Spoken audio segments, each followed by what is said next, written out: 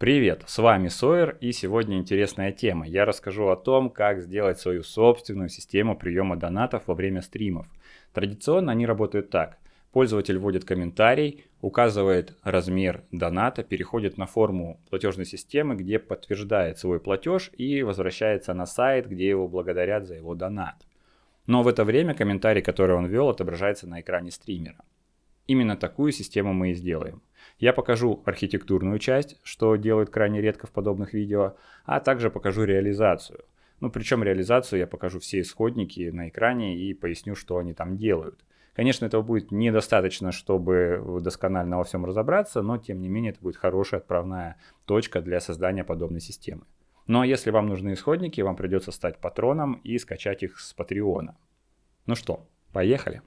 Давайте рассмотрим сначала архитектуру нашей системы. А, сразу скажу, что я буду рассматривать облегченный вариант. Вообще я рекомендую использовать для проектирования модель C4. Я о ней рассказывал на архитектурном стриме. Можете зайти на патрон там посмотреть. А сегодня я поговорю только о уровне системы и уровне кода. И это будет облегченное такое а, облегченное проектирование в объеме, необходимом для реализации системы. И вообще я рекомендую не стараться делать прям какое-то подробное проектирование там, где нет острой необходимости. А, начнем с уровня системы. Что наша система будет представлять здесь? Здесь мы рассмотрим основные инфраструктурные взаимодействия, чтобы понимать, кто с чем и как взаимодействует, ну и небольшую стереотипизацию проведем. Значит, у нас есть наша система, которую мы назовем Donate. По сути, это просто монолит трехслойный, у которого есть э, подсистема представлений с статическим HTML, бизнес-логика, представленная э, Express.js, да, то есть мы будем не с нуля все реализовывать, а возьмем готовый фреймворк. Э, и база данных. База данных, которая будет просто SQLite. То есть никакую тяжелую базу данных мы сюда тянуть не будем. Дальше у нас будет э, взаимосвязь с платежной системой, которая будет у нас Яндекс деньгами представлена. И, собственно, платежная система будет, э, на платежную систему будет переправляться клиент по HTTPS, э, ну и будет возвращаться назад по HTTPS, и будет еще дополнительное подтверждение со стороны платежной системы о э, получении денег. Вот это вещь, которая будет секретной, и пользователь о ней знать не будет. Дальше у нас будет OBS, которая будет запрашивать данные по HTTPS для отображения сообщений. Да? Ну и сам клиент, который будет, э, по сути, браузером, тонким клиентом, и он тоже будет работать по HTTPS. Все. То есть вот э, упрощенно наша система будет выглядеть так, и здесь нет никаких э, подводных камней, сложных частей. Теперь давайте посмотрим на уровень кода и сначала спроектируем а, ядро нашей системы, которое будет достаточно простым.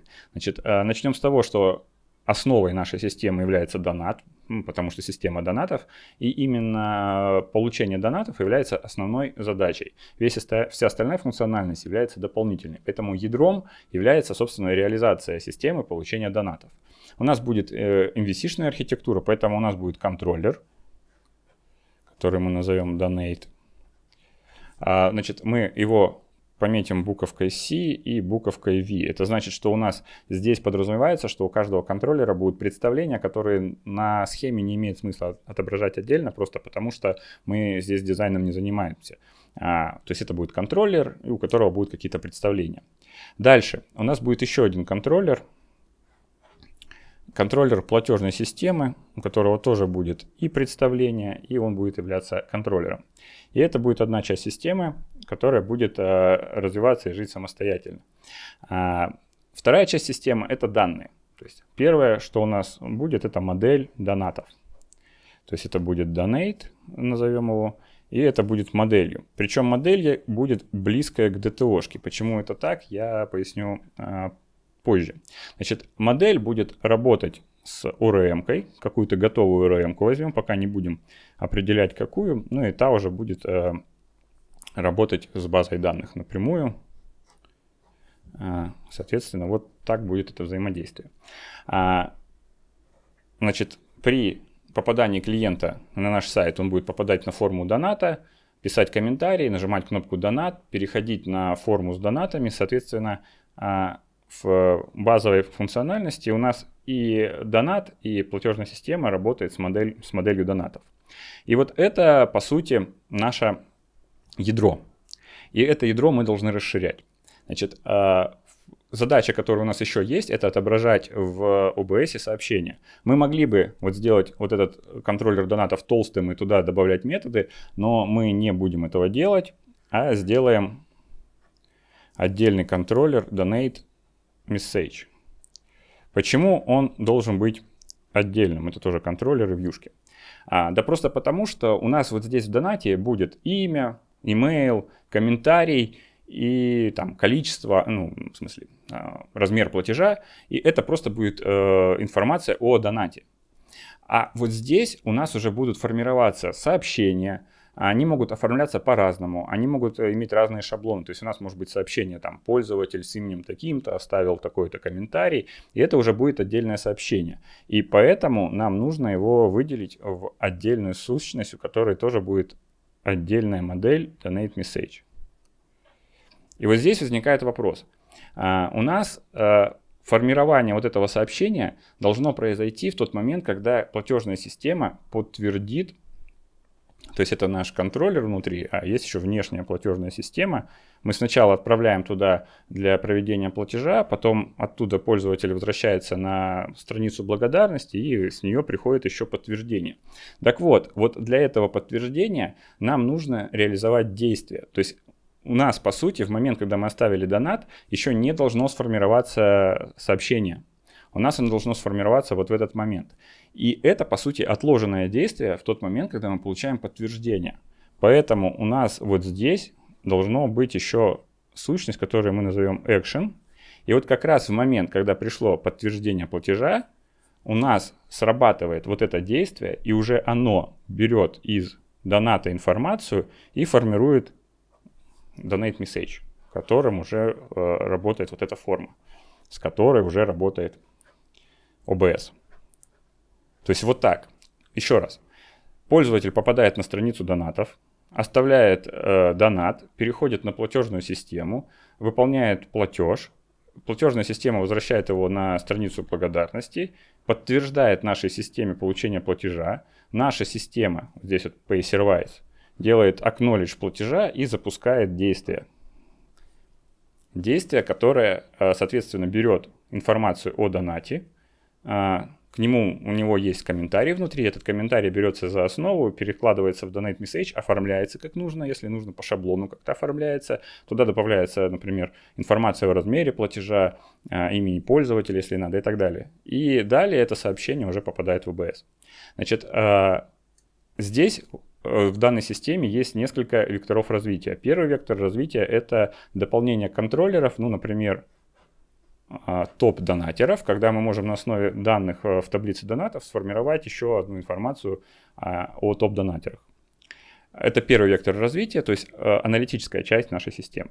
Второй вектор развития – это добавление экшенов. То есть вот здесь уже мы можем а, делать экшены, потому что наша система в такой архитектуре будет линейно зависеть от на объема функциональности. То есть если мы захотим отправлять не донат, а, например, голос в каком-то голосовании, мы добавляем сюда еще один контроллер голосований, у которого будет свой экшен, своя модель, и наша система, соответственно, запускает экшен в зависимости от того, э, кем она сформирована. То есть у нас, по сути, здесь появляется а, возможность наращивать экшены и, соответственно, выполнять разные последующие действия при подтверждении платежа. То есть вот это отложенное действие, action, оно может быть разным.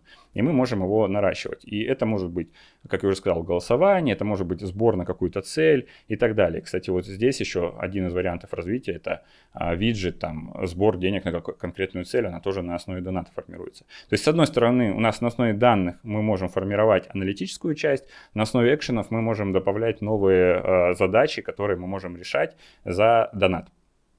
А, и еще важный момент. Почему я сказал, что вот эти модели должны быть близкими к DTO-шками. Если мы вот проведем еще одну границу и разделим, да, а, либо это будет модульный монолит, разделим вот эти две части, вот, по, вот здесь, либо это может быть сервисная или микросервисная архитектура для взаимодействия между а, частями системы нужно будет использовать какой-то простой формат, например, JSON. И тогда, если у нас здесь будет развесистая бизнес-логика, нам будет э, достаточно сложно переводить, нужно будет разбивать эти модели и так далее. Поэтому э, вся бизнес-логика, она выносится в экшен. И когда мы, э, в случае, если нам нужно будет масштабировать нагрузку, разделять эти компоненты, когда мы проведем эту границу, здесь связь перестанет быть прямой, она станет здесь через какую-то шину обмена сообщениями идти, но при этом у нас логика останется прежней, как раз за счет того, что что вот здесь мы оставляем простые ДТОшки. То есть в системах, где идет разделение и э, внедряется модульная архитектура, обмен между частями системами должен быть э, на основе формализованных и достаточно а, простых э, форматах обмена данными реализован. Обычно это текстовые форматы, которые сериализуют какие-то данные из э, модельки. Вот. А, поэтому здесь бизнес-логика выносится в экшен, и это позволяет нам в будущем разделить и провести границу. Это важно. Таким образом, мы накидали систему, которая, во-первых, может масштабироваться по количеству фич, и это будет линейное масштабирование. А, во-вторых, она может э, по нагрузке масштабироваться за счет разделения и вынесения э, частей системы в разные, э, на разные вычислительные ресурсы. И она может масштабироваться по количеству платежных систем, да, вот, вот за счет вот этого вынесения. Ну и, соответственно, ядро системы составляет э, донат, а вся остальная функциональность ее наращивания является линейным и э, легко масштабируемым. И вот в таком варианте система гораздо лучше, чем если бы мы сразу начали делать вот здесь вот так называемую FET толстую, толстый контроллер, куда занесли бы и функционал, а, связанный с публикацией сообщений, и сюда бы мы добавили еще флаги, там, публиковать их, эти сообщения в БС или нет, это было бы такое раздутое ядро, которое бы сложно было а, потом разбивать на части. И вот поэтому как раз а, важный этап проектирования. Мы здесь уже видим, что у нас есть векторы развития, мы видим, как мы можем развивать нашу систему, и что она готова к внедрению новых фич, к изменению функциональности. И это важный этап проектирования. Теперь же мы просто реализуем то, что задумали. То есть у нас будет Express.js, мы выберем какую-то ORM, создадим модели, а, создадим экшены и контроллеры. И по сути, ну, это займет не так много времени. Давайте приступим к программированию. Первым делом необходимо создать проект. Для этого используем генератор Express. Укажем препроцессор HTML pack и создадим проект. После этого сделаем инсталляцию всех NPM пакетов, добавим новые пакеты, которые нам потребуются, затем выполним инициализацию ORM. -ки. Заполним конфигурационный файл, создадим модели в соответствии с тем, что вы видите на экране. Далее запустим миграцию базы данных. И после этого можно проинициализировать git, создав предварительно git ignore, чтобы не тянуть в репозиторий ненужные файлы. Ну а после этого можно приступать к созданию исходного кода. Вот так выглядит проект после генерации. Здесь есть директории, которые созданы экспрессом, а есть те, которые созданы ORM. Я говорю про config, migrations, models и seeders. А, немножко все реорганизуем. В принципе, проект и сейчас уже можно запустить. Он будет работать в некотором дефолтном состоянии, но нас интересует а, конечный результат, поэтому промежуточных проверок делать не будем. Переносим CRC, создаем э, директорию CRC, переносим туда вьюшки, роуты, которые у нас являются одновременно контроллерами. И создаем actions. Вот в такой структуре будем работать. Далее я создал шаблоны основных страниц, они используют препроцессор HTML PAG и стили к ним. Давайте обзорно покажу, что у меня получилось. В первую очередь я создал layout main, который содержит шапку страницы и ее основную разбивку. Далее я создал страницы подтверждения платежа, а, страницу, которая выводит э, на экран все сообщения, которые у нас есть в очереди. А, страница с ошибкой э, создана э, генератором Express – Далее green screen это для того, чтобы отправлять страницу с сообщением в OBS, чтобы можно было через Chroma Key убрать зеленый фон и оставить только сообщение. Индексная страница это основная страница. Сюда я добавил форму доната. Э, далее страница с благодарностью. Сюда попадает пользователь, когда выполнит платеж в платежной системе. И, собственно, форма, которая необходима для отправки на Яндекс Деньги. Здесь указывается основная информация по кошельку и размер платежа. А, далее.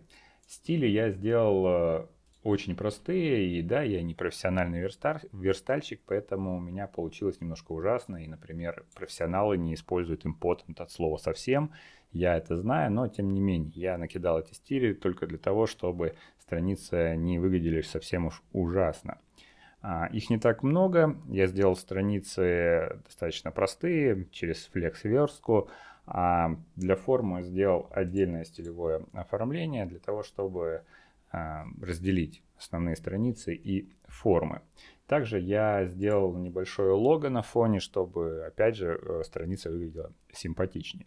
Пока ничего сложного здесь нет. Далее я определил все, что касается действий. Ну, в первую очередь, это, конечно, интерфейс. Здесь я создал э, виртуальный метод, который должен быть переопределен в потомках. Если это не происходит, выбрасывается исключение, которое я определил здесь же. Конечно, по-хорошему его нужно вынести в отдельный файл. Кроме этого, определил четыре константы, которые отвечают за состояние выполнения действия. Ну, в первую очередь, действия не требуются, а, и три флага для э, ситуации, когда действие требуется, действие выполняется и действие закончено. Это нужно для того, чтобы не запускать в параллели несколько одинаковых действий и для того, чтобы отслеживать э, состояние доната. То есть донат должен быть не только проведен, но и после него должно быть выполнено отложенное действие. Далее я создал конкретное действие для а, ситуации, когда у нас пришел донат, и мы хотим добавить сообщение в очередь сообщений. Здесь, по сути, просто записывается э, комментарий из доната э, в таблицу донат message. А, по сути, вот это основное действие, единственное действие, которое пока есть в системе. Далее я создаю контроллеры, которые одновременно выполняют функции маршрутизаторов. Index.js это по сути служебный файл, который связывает корень сайта и шаблон индекс. Ничего другого здесь не выполняется. А, собственно, поэтому я в архитектуре его и не показывал. Далее контроллер донатов. Он выполняет две функции. Либо добавляет новый донат, либо выводит список существующих. Это зависит от HTTP метода, которым а, сделан запрос. Get или post.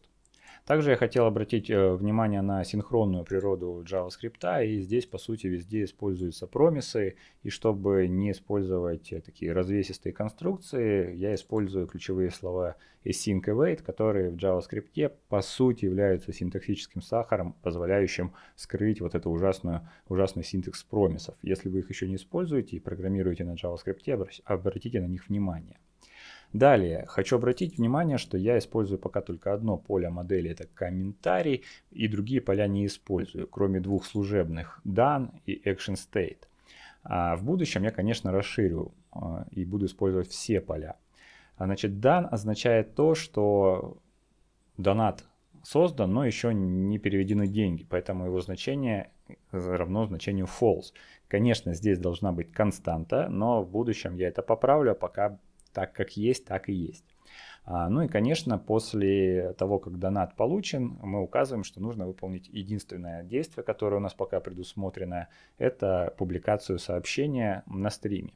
Ну и далее делается переход на форму с указанием размера платежа, ну, на контроллер платежной системы. Контроллер платежной системы, он не очень большой, в нем три э, метода. Первый из них отвечает за благодарственную страницу, ну и здесь, конечно, везде используется айдишник доната для того, чтобы связать все воедино.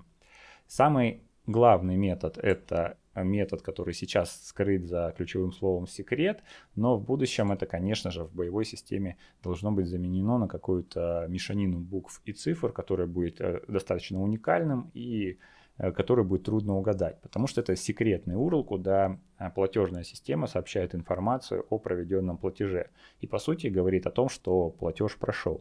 Если кто-то отправит сюда сообщение э, за платежную систему, ну, соответственно, он тоже будет считать, система наша будет считать, что платеж проведен.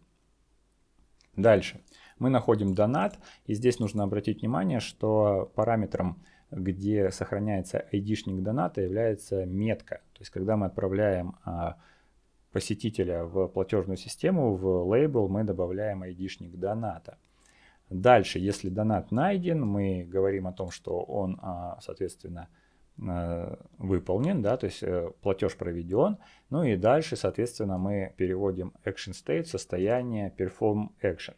Это, кстати, не очень безопасная конструкция, ее надо будет менять, но пока я не буду на этом заострять внимание. Ну, дальше сохраняем а, состояние доната, и если action state равен perform action, мы делаем публикацию сообщения. Опять же, вот эту часть в будущем нужно будет э, развивать, потому что сейчас у нас только одно действие, и поэтому мы его используем напрямую. В будущем это будет, конечно, какой-то шаблон проектирования, но, опять же, это вопрос в будущих версий. Дальше мы запускаем действие, сохраняем статус э, дан и, собственно, все. Вот после этого мы выводим сообщение confirm, которая подтверждает, что все действия выполнены, но на самом деле платежному сервису это уже не важно. Он прислал данные, остальное его не волнует. Реальные пользователи здесь ничего не видят. И это сделано больше пока для отладочных целей. Ну и последний э, путь это форма Яндекс Денег, где вы указываете еще на нашем сайте объем платежа, объем доната, который хотите сделать. И потом переходите на платежную систему. А, ну и последний контроллер, который есть, это контроллер а, сообщений. Он пока что отображает только последнее сообщение, которое добавлено. Его, естественно, нужно дорабатывать, чтобы он удалял, либо помечал как показанными те сообщения, которые уже показаны. Иначе а, наша ОБС будет показывать только последнее сообщение. Опять же, в отладочных целях нас это вполне пока устраивает, поэтому оставляем так, как есть. Ну и также предусмотрен метод для вывода всех сообщений, которые у нас есть в очереди сообщений для стрима. А, когда я буду рассказывать о переводе системы в боевой режим, о его публикации, конечно, эти вещи будут доработаны, но пока для вот первоначальной версии, для проверки работоспособности такого поведения вполне достаточно. Ну и на этом наши контроллеры заканчиваются. Идем дальше. На этом рассмотрение системы мы заканчиваем. Остался только один файл app.js. Он сгенерирован в большей части автоматически, но мы добавили сюда информацию о наших маршрутах-контроллерах. А, инициализация ORM добавила свою часть для загрузки моделей. Далее мы изменили дефолтное а, размещение вьюшек. Ну и, собственно, здесь же необходимо связать наши маршрутизаторы-контроллеры с конкретными путями в URL. И все остальное остается по умолчанию, так как было сгенерировано экспрессом. А, теперь мы можем запустить приложение и посмотреть, что оно работает. Здесь ORM попыталась создать э, таблицы, если они не созданы отобразила информацию, что подключение к базе данных выполнено. Ну и теперь система ожидает запросов от э, пользователей и других инфраструктурных систем. А, на этом все. Я хочу напомнить, что в ближайшее воскресенье будет э, стрим по архитектуре, связанной с монолитными архитектурами. Э, также исходные коды данного проекта можно скачать на Патреоне, но доступны они только патронам на любой подписке. Ну и плюс ко всему хочется отметить, что эта система является наброском, то есть черновиком, который нельзя рассматривать как полноценную боевую систему. В частности, здесь не рассмотрены вопросы деплоя этой системы на боевые сервера, и также не рассмотрены вопросы безопасности, которые тоже требуют проработки для того, чтобы система считалась законченной. Тем не менее, эта система работоспособна, ее можно воспроизвести по тем по той информации, которая есть э, в видео, и она будет работать и выполнять свои функции. На этом все. Спасибо, что слушали. С вами был Сойер. До свидания.